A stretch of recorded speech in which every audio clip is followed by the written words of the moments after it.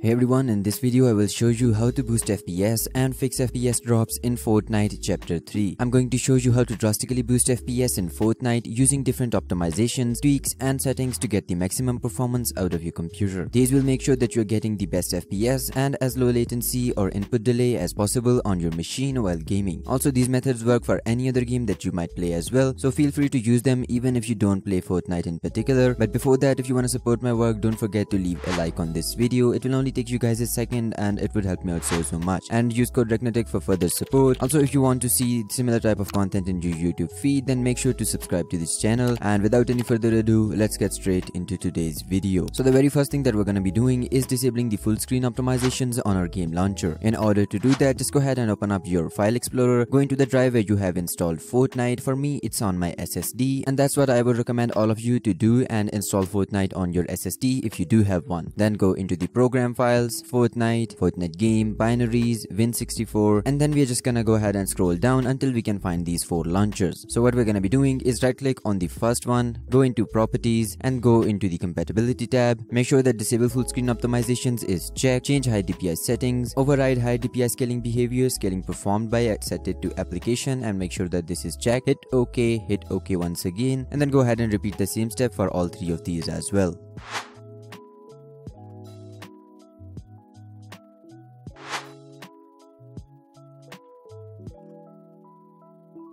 Once you're done with all four of these, and now we have successfully disabled the full screen optimizations and you should see a tremendous boost in FPS as well as lower input delay. Now you can close out of this and we can move on to the next step. So for this next step, we're gonna be setting the Fortnite to high performance and in order to do that, go ahead and open up your start menu and search for GPU. Go ahead and open up graphics settings. Once this opens up, you should have another option if your hardware does support it, hardware acceleration, make sure to enable that and then go ahead and set this to desktop app. Click on browse. Once again, go into the driver you have installed Fortnite, then Fortnite game, binaries, Win64, and now this time you only need to add the first one, the Fortnite client Win64 shipping.exe, which has the highest file size as well. So just go ahead and click on add, as I have already added it, then go ahead and click on it, click on options, and just set this to high performance, hit save. As you can see, I have done the same with Valorant, and you can pretty much do it with any game that you want. Now you can close out of this, and moving on, we're gonna go ahead and apply the Fortnite optimization pack, Reknotic. You can go ahead and download it from the link in the description by clicking on this thumbnail on my website. Just keep in mind that the website does contain some ads, so if you do want to download it without viewing any ads, then join my Discord server. The link can be found in the description as well, and you can download the pack directly from there without viewing any ads. Regardless, once you have downloaded the pack, just go ahead and right click on it and extract it using 7-zip, WinRAR, whatever you want. And once the pack is extracted, go ahead and open it up. Inside of here, you will find these bunch of folders, and we're gonna be starting off with the bash tweaks. So the first one is clean temporary files. Just right click, run it as administrator, press any key to continue, and this is going to go ahead and delete all of the temp files from the prefetch folder, the Windows temp folder, as well as the local data temp folder. So press any key to continue, then disable process mitigations, right click, run it as administrator, and then let it just do its work. It's going to disable the process mitigations for most of the processes. Just go ahead and press any key to continue. Once it's done, go back into the pack once more. This time go into the device cleanup, right click on the device cleanup.exe and run it as administrator. Now as you guys can see that I regularly clean this, so I don't have many devices. However, for most of you, you will see a lot of devices inside of here and all you guys would need to do is press Ctrl and then A at the same time. This is going to select all of the devices and then hit delete. This is going to delete all of the devices that were once connected to your computer and are no longer there. So once you have done that, you can close out of this, go back into the pack, go into registry tweaks and hibernate in Windows. We're gonna go ahead and disable hibernation, hit yes, hit OK. Then go back and open up the user account control, enable or disable. This is not going to help you with performance, however, it is going to make sure that you can run most of the tweaks on your PC and it's also going to remove that annoying administrator rights pop-up box whenever you apply a new tweak. So go ahead and disable user account control,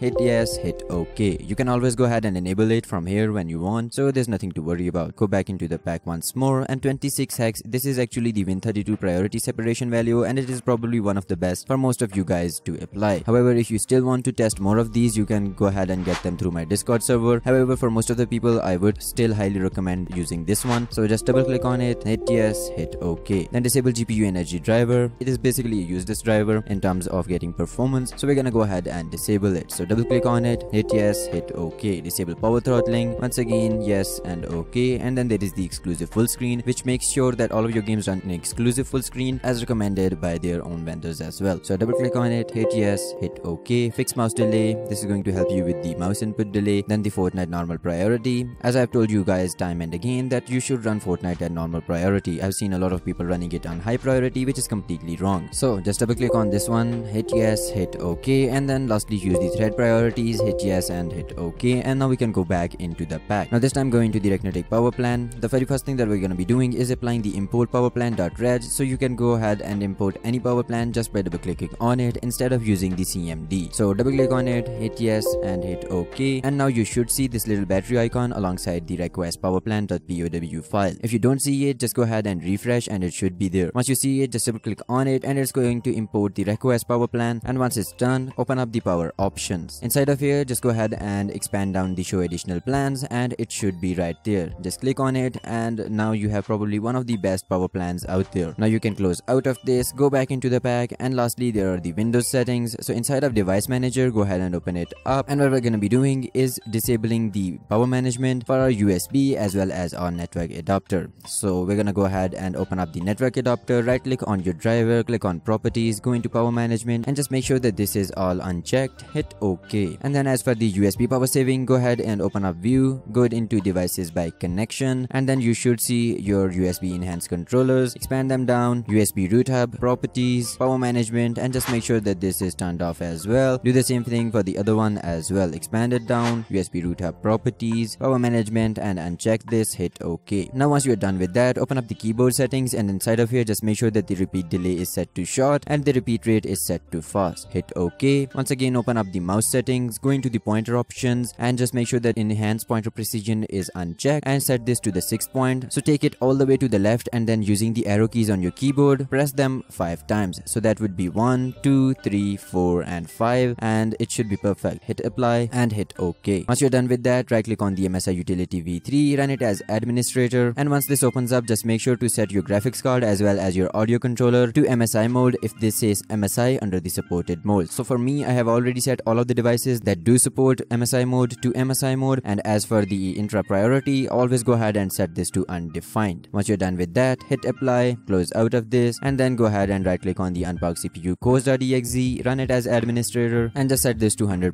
unpark all. However, if you are using my power plan then it should be by default set to 100% and all should be unparked. So yeah, close out of this and now we are done with the pack. There's also one little thing that you can do to improve your performance and that is to delete the Fortnite cache files. Fortnite keeps up building cache files which can reduce performance from time to time so I would highly recommend you to delete those from time to time. So in order to do that, go ahead and open up your start menu, search for run, go ahead and open it up and once the run box opens up, inside of here just type in percentage app data percentage, go ahead and click on OK. Once you're inside of here, go ahead and open up the app data, then go into the local folder. Once you're inside of here, go ahead and find the Fortnite game folder, right click on it, go ahead and delete. What this is going to do is completely reset all of the graphic settings, but don't worry, your controls and everything else will remain the same. So only your graphic settings will be reset. And if you guys want the best Fortnite config file, then I will leave a link to this video right here, which is going to help you get the best Fortnite config file that you can get right now. However, all that you need to do now is launch Fortnite, change your settings, and that's it. You should be getting a lot more performance and a lot lower input delay by now. But if you want to get even more FPS and lower input delay, then click on this video right here.